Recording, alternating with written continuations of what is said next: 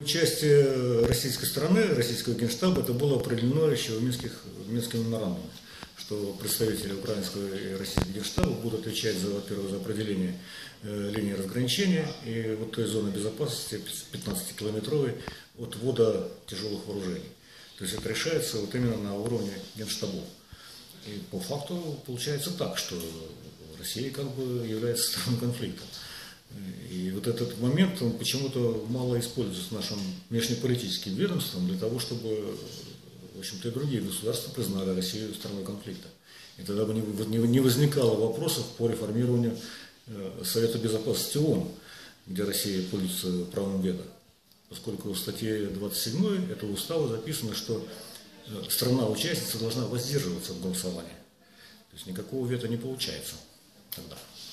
Это необходимо использовать, на этом необходимо делать акцент, я считаю. Насколько, скажем так, я бы не сказал про правдивые, скажем, переговоры о перемирии, а к чему они приведут.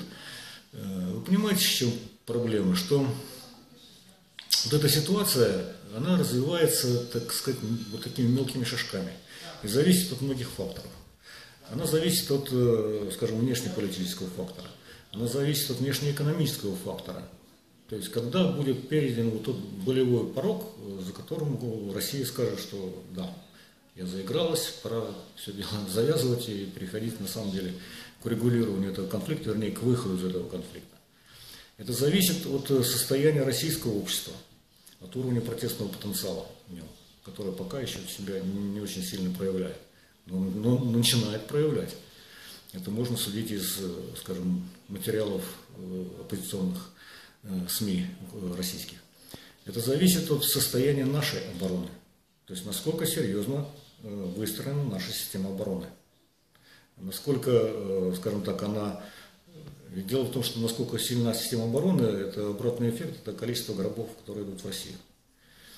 И насколько, скажем так, серьезны вот те резервы, которые может привлечь Путин для продолжения вот этой агрессивной политики. Они не бесконечны. И понимаете, вот эти вот мирные переговоры, это, скажем, какой-то промежуточный шаг, э, какой-то пазлик во всей вот этой ситуации, который для меня пока еще, ну, скажем так, в общую картину не, не лег. То есть я пока вот четко и однозначно не могу сказать, что, что к чему это приведет. То есть необходимы какие-то э, еще шаги, будет ли наступление вот на тех, э, скажем так, опасных направлениях, где сосредотачиваются силы. Насколько мы сумеем сосредоточить на этих направлениях, э, скажем, свои войска. Насколько будет продолжаться э, вот эта политика по дестабилизации ситуации в других регионах, в частности в Харькове. И вот все это должно, как пазлики лечь одну картину и ее дать. Но пока вот оно у меня не складывается. Что это такое будет?